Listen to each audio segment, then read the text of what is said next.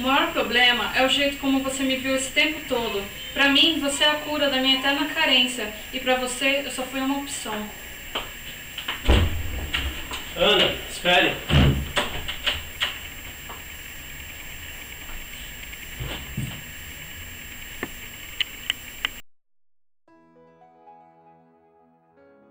Preciso de alguém, e é tão urgente o que digo. Tão só nessa hora tarde, eu, patético, distrito pós-moderno com requisitos de Wetter e farrapos e versos de Jim Morrison, abóporo heavy metal. Só sei falar dessas ausências que ressecam as palmas das mãos de carícias não dadas. Preciso de alguém que tenha ouvidos para ouvir, porque são tantas histórias a contar, que tenha boca para, porque são tantas histórias para ouvir. Meu amor, é um grande silêncio desnecessário de palavras, para ficar ao lado, cúmplice, dividindo o astral, o ritmo, o haver, a libido, a percepção da terra, do ar, do fogo, da água, nessa saudável vontade insana de viver. Agora consigo ver o que eu tinha isso e deixei escapar. already we are considering escape from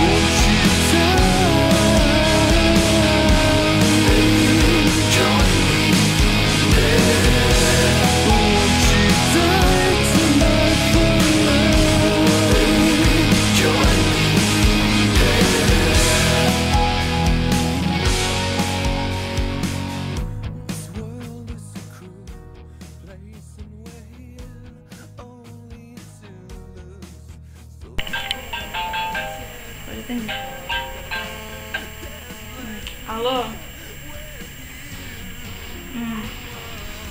Preciso de você que tanto amo para continuar vivendo. Preciso da parte de mim que não está em mim, mas guardada em você. Não entendo ainda, não consigo entender direito. Preciso do teu beijo de mel na minha boca de areia seca. Preciso da tua mão de seda no couro da minha mão crispada de solidão. Preciso dessa emoção que os antigos chamavam de amor. Você não entende o que é querer o futuro só porque estará lá, meu amor. Então tirei da boca para fora luminosa de ilusão.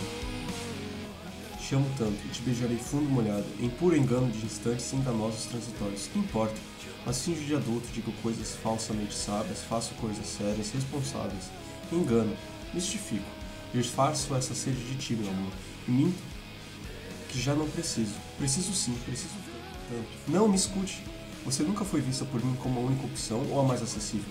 Agora eu consigo ver com clareza quanto eu preciso de ti, o quanto me tornei dependente desse ser tão digno de admiração que és você.